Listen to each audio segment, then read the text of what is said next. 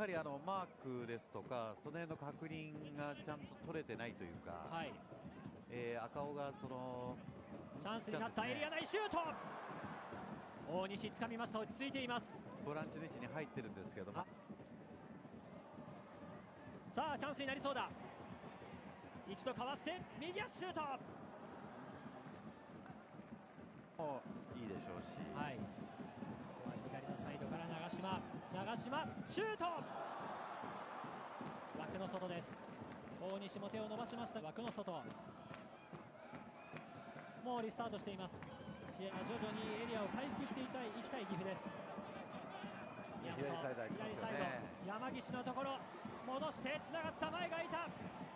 切り返して。マイナスボールから。エリア内。右サイドを使ってさあここは裏へ抜けてシュート正面大西の正面。タッチで背後を狙うっていう山岸選手狙い持ってましたけどね。はい。本田からのボールカットした FC 岐阜山岸。長島エアの中に入ってきた。シュートに行く長島ここは清水がキャッチしています。さあ長島山岸ここは黒木足を出すが後ろからここはフィニッシュの形に持っていく。最後は長島。今日もこの長島その最後のフィニッシュの形という部分。ここは奪った。岐阜ライアン・デフリース。かわして山岸。後ろからここも長島。こぼれているこのこぼれ球には反応できなかった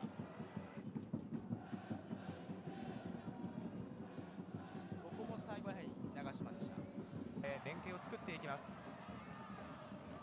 水戸の網をかいくぐれるか。切り込んでシュート。ディフェンスに当たりました。長島のシュートでした。合わなかったですね。そうですね。奪い返した。奪い返して前田に預けてワンタッチで。シュートは入った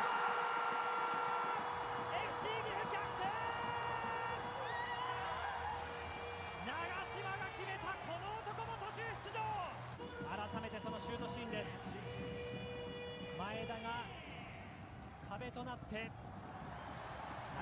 ールキーパー反応しづらいですよね、はい。このタイミングで打たれると。タイミングが良かったと。いうことですね。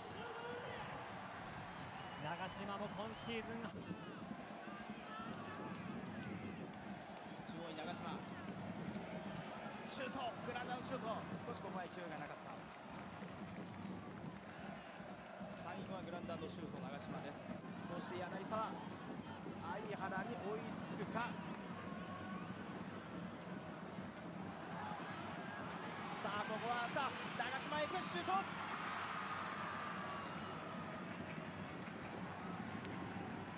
クロスでした。さあカットした岐阜チャンスになる運ぶ。シュート。長島がシュートを放ちました。これが岐阜のファーストシュートです。相原から左サイド。甲斐が上げていく前田その前で跳ね返します。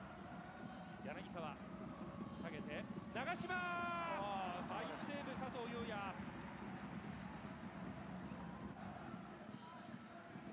ここもねうまく、まあ、1回はクロクリアしましたけどね。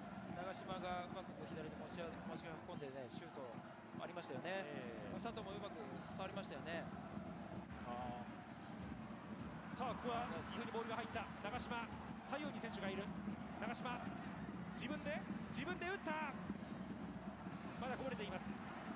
シュート前田ワンタッチはどうか。